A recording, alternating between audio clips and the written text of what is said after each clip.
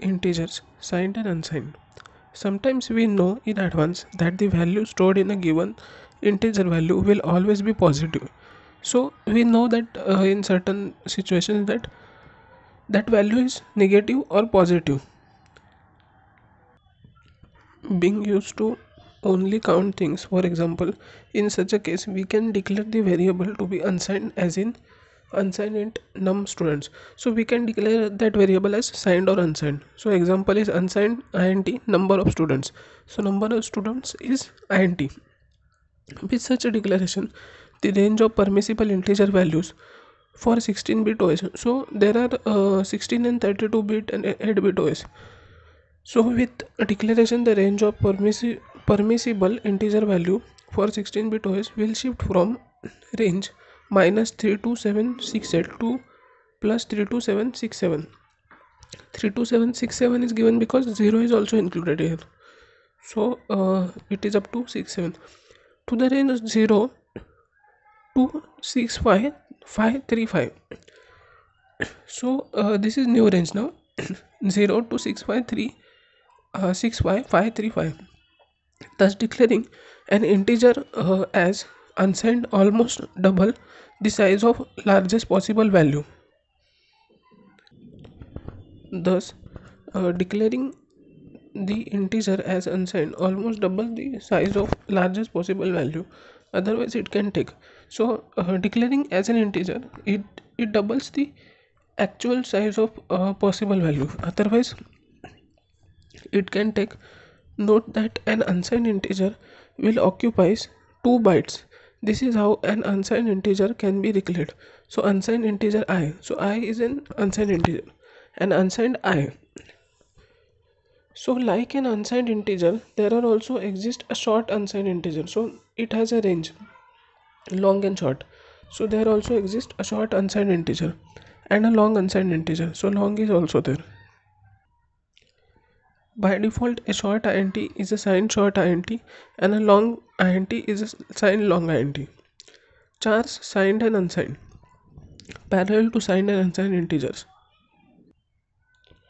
Either short or long. Similarly there also exist signed and unsigned chars both occupying one byte each but having different ranges. So uh, signed and unsigned chars are also uh, do exist each having different ranges. To begin with, it might appear uh, strong as to how a char can have a sign. So, uh, it might appear that as how a char can have a sign.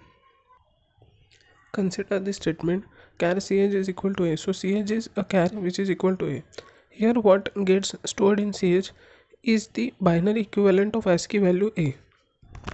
So, binary of 65 is stored in char a and if 65 is binary can also be stored. Within minus 54 is binary can also be stored. And sign char a sign char is same as ordinary char and has a range from minus 128 to plus 127 whereas an unsigned char has a range from 0 to 256 255 so these are ranges of uh, this uh, signed char and unsigned char so this is a basic program. Main char ch is equal to 291 so 291 is a character uh, and it is defined as ch now printf slash n that is on next line. Percent d percent c. So percent d is for integer and percent c is for character. So first first ch is integer and second is character. What output do you expect from this program?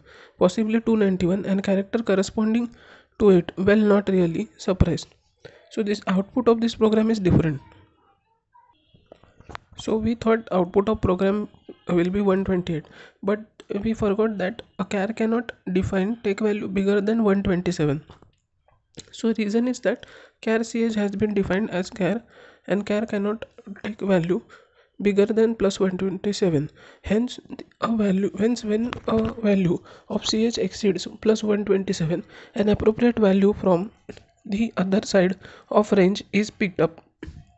So appropriate value from uh, other side is picked up and stored in ch so this value in our case happens to be 35 so any random value is picked. So in our case compiler picked 35 hence hence 35 and it uh, its correspondence character hash gets printed out.